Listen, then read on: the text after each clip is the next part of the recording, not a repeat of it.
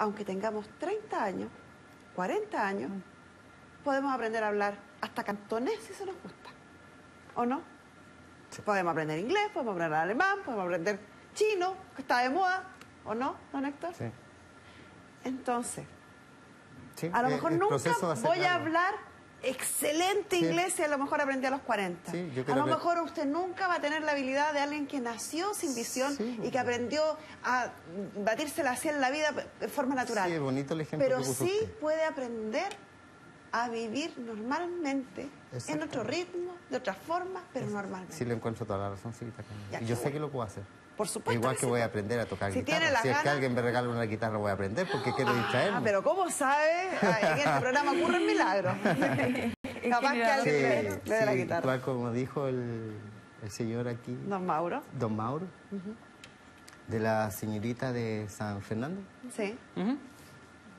No, no, no tenía idea que había algo. Había sonado que había una, una casa, porque fuimos una vez con mi señora, Sí. que al lado del. ¿Cómo se llama? al- eh, del ministerio, no De- el ministerio, es algo de la educación. Sí, La sala de mi educación. así, al ladito parece. Y la vez que íbamos estaba cerrado. No lo- nunca lo contactamos con el horario nomás. Pero sí fuimos. Pero ahora ellos ya tienen, ya tienen información de ustedes, así que seguramente la próxima vez que vayan lo van a estar esperando con cafecito. Gra- Gracias a Dios, sí. Y el ejemplo que usted puso, sí, soy capaz. Por supuesto que sí. No, solo contarle a a Andrea y a, a su madre que eh, existen redes de apoyo, existe para que, porque a veces uno se siente solo, se siente que esto es súper difícil, que no se va a poder. Eh, y muchas veces nos dicen, tú no vas a poder.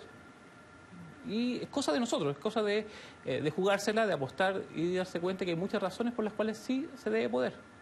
Y tenemos los datos, se los vamos a dejar a ustedes para, y nosotros vamos a estar chequeando objeto de darle seguimiento y que efectivamente esto se concretice, ustedes tengan esta posibilidad de ir día a día incluyéndose en la sociedad.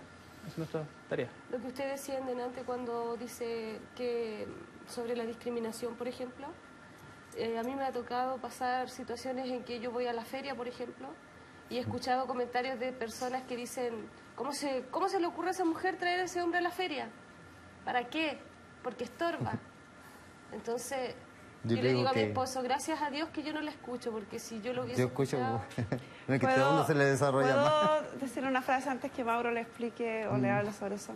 Señora, la discriminación es la muestra más evidente de ignorancia, de desinformación, en todos los aspectos en los que se pueda discriminar, en el sexual, en el racial, en el de la discapacidad, en todos los aspectos, es reflejo evidente de una falta de información y de una ignorancia aberrante.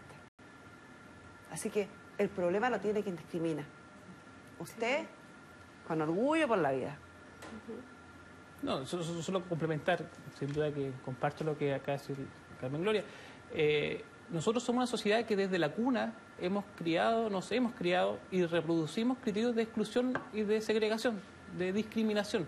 Si una persona tiene la oreja más larga, es más Ah, flaco, es más gordo, si es más alto, si cualquier cosa, cualquier rasgo distinto a no sé qué cosa, ¿eh? un modelo que hemos creado de alguna forma, Ni que hubiera existido realeza en este país, digo yo, si todos venimos de donde mismo. eh, lo, lo discriminamos. Y a través del humor también, ¿ah? este el típico humor de chistes. Sí. Había una vez un peruano, Ah, sí. un argentino, un chileno. Y, y después Sí. sigue un montón de chistes donde Sí. los chilenos quedamos muy bien y el resto queda pésimo. Porque estamos acostumbrados a reforzarnos.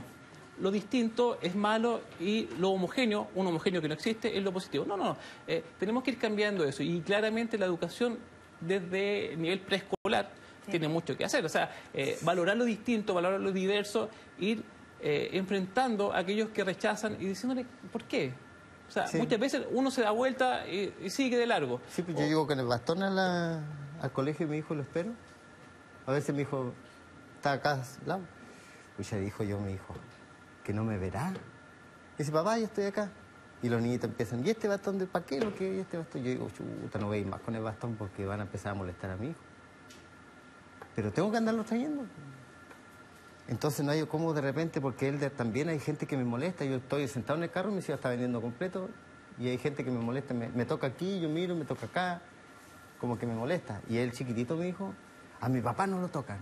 Se está criando así como que no quiere que me toquen. Y uno no le inculca, yo lo dejo hacer a él.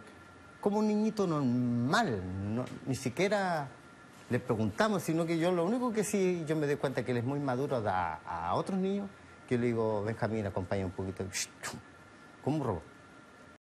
Y le pongo el hombrito y le digo, tan chiquitito, y él me lleva.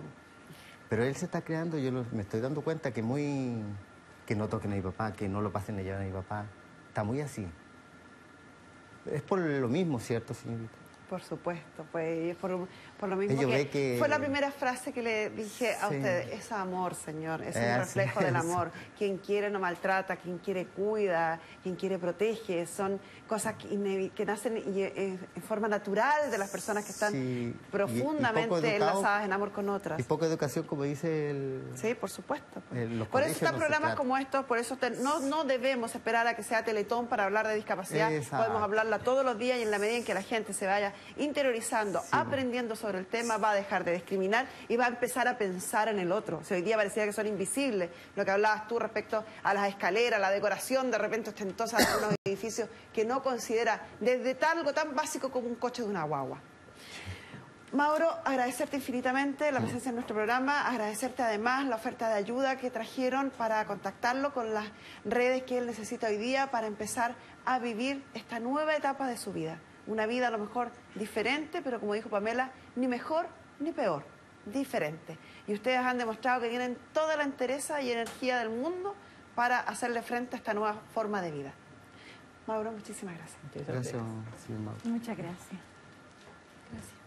Yo no sé si será posible, le quería pedir al director, en las redes sociales estos últimos días ha circulado un, un video de una atleta que tiene amputadas sus piernas. Es una joven que ella tomó una decisión que nada iba a ser imposible para ella.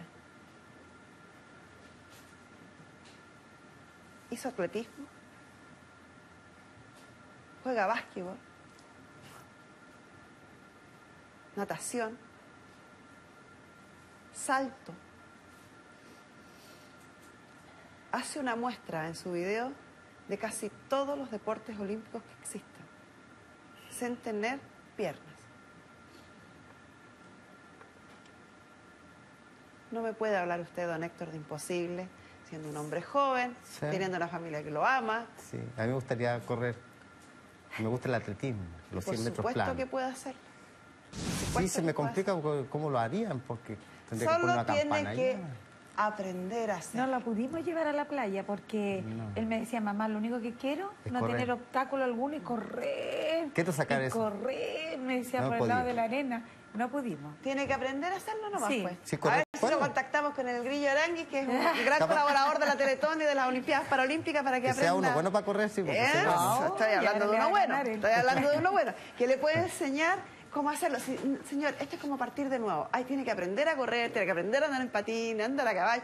Va a poder hacer muchísimas cosas Gracias, de las que usted piensa, incluso tocarse una buena tonada ahí en la guitarra, pero tiene que aprender a hacerlo de otra forma. Sí, aprender a hacerlo de nuevo. Hijo. Es solo eso. Hijo, tú no le ibas a decir que tú la conociste. Sí, la conocí. ¿Dónde me conoció? Sí, la conocí en la televisión viéndola. Sí, Ah, tenía, yo no sé por qué ese celular tan bonito que lo tenía. ya no lo tengo. No, ¡Qué! Si me dijeron, porque yo por eso. Qué bonita y morir es No, ¿Y qué bonita. es lo que le ibas a hacer tú? Ah, que yo soy afortunado de, de tener No, a mi del- de señora la- y de la chaqueta, ¿Ah? de la chaqueta. Ah, que yo le podría hacer una, una prenda de vestir con solo mirarla, para ahora no puedo. Se lo debo. Pero me puede tocar, pues. No, no me da nervios. Si su señora nos da permiso, y Bernardo nos da permiso. No, entonces- Bernardo, Eh, mira, estoy transpirando. Son las luces. Ay, mire, venga a darme un abrazo, que vaya a tener que gastar menos que, lo, que ve por televisión. Toma, mamá. Sí, todavía No, no. yo voy para allá. Ahí. Y no venga a encontrarme, ¿por qué no? Sí, Ah, sí. pues como un caballero, pues. Muy bien. Aquí estoy, ¿eh? Oh, señora.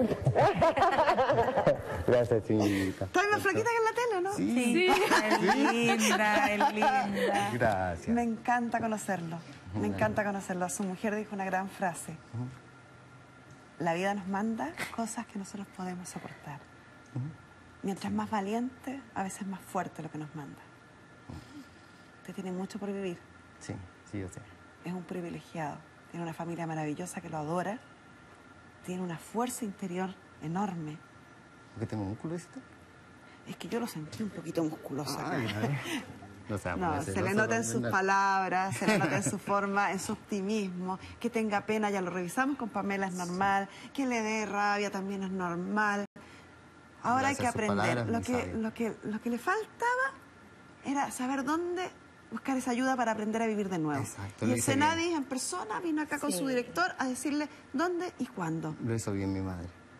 Lo hizo bien usted, lo hizo bien su madre, lo hizo bien su mujer, lo hizo bien su hija. Eso quiere Gracias. decir que se merece lo que tiene en la vida. Que le vaya muy bien y ojalá que luego nos cuente cuando esté corriendo la maratón Sí. o esté tocando guitarra. Sí. ¿Ya? ¿Está en deuda que me escriba una cancioncita, alguna cosa? Ah, sí, no sé. ¿Cierto?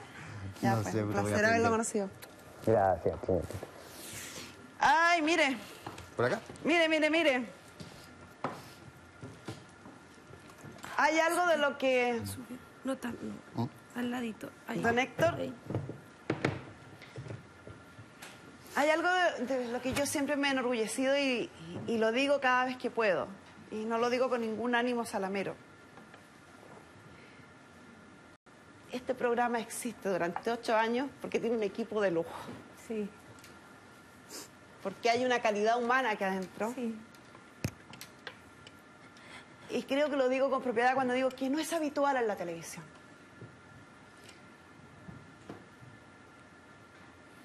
Aquí casi en forma unánime van a comprar su guitarra. Titi.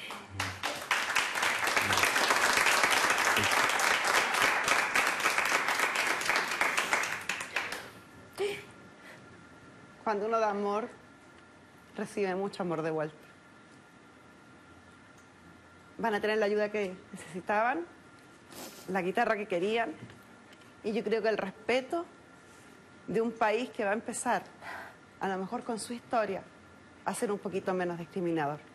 Acogida la demanda, este caso